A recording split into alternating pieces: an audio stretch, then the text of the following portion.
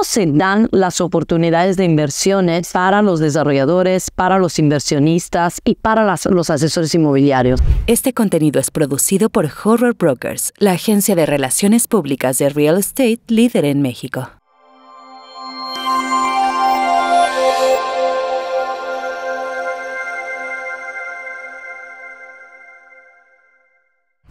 Hola a todos y hola a todas, bienvenidos y bienvenidas a un episodio más del ABC Real Estate. Ahora este episodio haciéndoles una pregunta. ¿Cómo se dan las oportunidades de inversiones para los desarrolladores, para los inversionistas y para los asesores inmobiliarios? Porque a veces nos pasa enfrente una oportunidad de inversión y a lo mejor por no tener las herramientas para ubicarla y reconocerla, esa oportunidad. Es por eso que el día de hoy les quiero hablar de un concepto el famoso DOT, que significa Desarrollo Orientado al Transporte. ¿Qué es el DOT o esa zona así llamada DOT? Es una categorización urbanística que ofrece muchas oportunidades de inversión y tiene que ver con temas de walkability y de economía compartida. El día de hoy desglosé algunas, más no son todas, algunas características para que una zona se llame, se pueda denominar efectivamente como una zona DOT. Son las principales, más no son todas. En primer lugar, la característica que tiene que tener un desarrollo orientado al transporte es la fácil accesibilidad al transporte, ¿no? En las así dichas zonas DOT se permiten algunos cambios en el plano de desarrollo urbano que tienen que ver con el reglamento, que tiene que ver con estacionamiento, que tienen que ver con, eh, que tienen que ver con eh, el permiso de poder construir o de dejar libres más metros cuadrados construibles, que eso es muy importante. Ahí está la oportunidad para los desarrolladores en esas zonas así denominadas. No, ¿eso por qué? Porque el gobierno quiere que la gente favorezca el utilizo de transporte público contra los automóviles. ¿No? Por eso es que impulsa que pues, se puedan dar más metros cuadrados construibles y que se empiece a desarrollar esta zona de acuerdo a los criterios de la zona DOT de la que platicaremos el día de hoy para que eh, se utilice mucho más el transporte público y se deje utilizar los automóviles. Una segunda de las principales características de esas zonas, así denominadas DOT, es el diseño peatonal y las ciclovías. Evidentemente, esa zona tienen que ser construida y diseñada para que los peatones y los ciclistas se puedan mover de una manera muy segura y eh, muy accesible, que puedan recorrer esa zona de una manera muy accesible como peatón y como ciclista. Entonces, en esas zonas veremos banquetas más amplias, calles más amplias también, eh, veremos cruces peatonales muy seguros, obviamente ciclopistas, justo para permitir a tanto los peatones como ciclistas de poder transitar en ese tipo de zona en una manera de total seguridad. Además, las zonas DOT tienen un alto porcentaje del Walkability Score. Si ustedes se ponen en Google y buscan walkability.com, encontrarán porcentaje de Walkability tiene la zona donde operan como asesores inmobiliarios o donde quieren invertir como, de, como inversionistas o donde quieren desarrollar como desarrolladores. En las zonas DOT, por lo general, el Walkability Score es de alrededor un 90-95%, justo porque es una zona apta y segura para el paso peatonal y paso de los ciclistas. Otra característica es el el uso mixto de los desarrollos. Se permite mucho licencia de uso mixto en el desarrollo inmobiliario donde compagine tanto el residencial como el comercial porque evidentemente se quiere dar la mayoría de los servicios posibles en términos comerciales a los habitantes que habitan en zonas DOT, ¿no? Para que tengan acceso a los comercios de manera muy ágil, ¿no?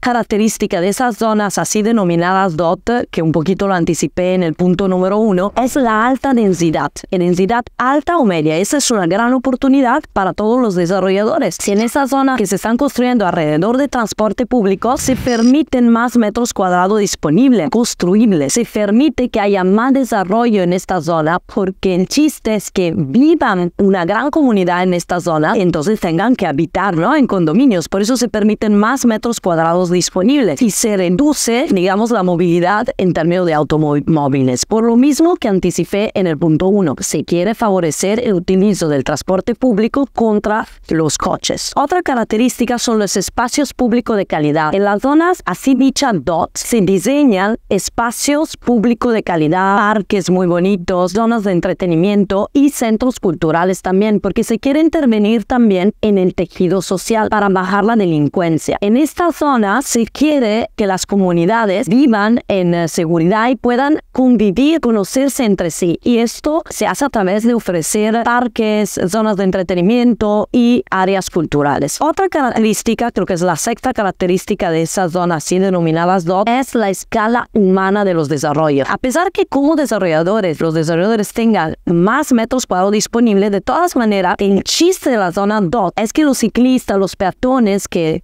recorren esas zonas, cuando miren, puedan tener una vista abierta hacia el cielo, hacia los árboles, entonces no tener esa sensación que los edificios se te caen encima, ¿no? Se te vienen encima. Entonces, alta densidad no significa que tengas desarrollado esa zona de una manera que el peatón se sienta que la ciudad le venga encima. Todo lo contrario, tiene que tener vista hacia, hacia el cielo, vista hacia los árboles, entonces se hacen ciertos tranqueos en los edificios, cierta disposición de las terrazas, de la manera que a la percepción del peatón no se sienta esto, que la ciudad se le cae encima. Esas son las características principales de una zona así denominada DOT. Pero ¿qué puede pasar? Puede pasar que una zona se remodele, una zona que no era una zona DOT se remodele y se transforme hacia una zona DOT porque se va a desarrollar un transporte público determinado. Por ejemplo, pensamos en un tren y entonces se empieza a desarrollar y se empieza a plano de desarrollo urbano, empieza a cambiar y se empieza a adecuar a las características que tienen que tener las zonas DOT. Entonces a partir de allí es donde va a haber mucho desarrollo, entonces muchas oportunidades tanto para los desarrolladores como para los inversionistas evidentemente para ti asesores inmobiliarios para tener ese ojo clínico para el inversionista para poderle anticipar las mejores inversiones que puede encontrar en un mercado. Entonces revisa si en tu ciudad o en la zona donde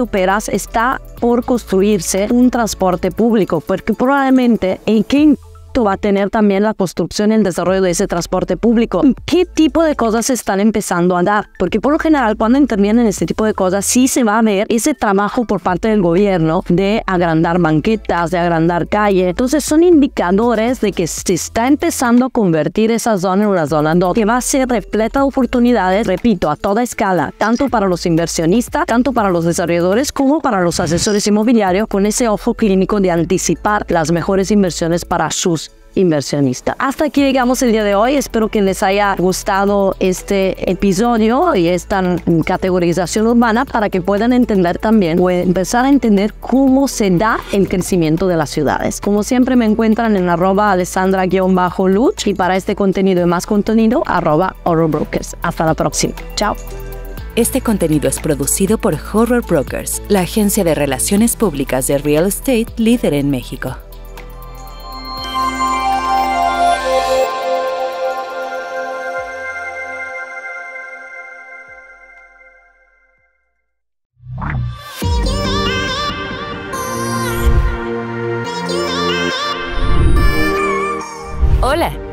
Somos Horror Brokers, la agencia de relaciones públicas especializada en real estate líder en México.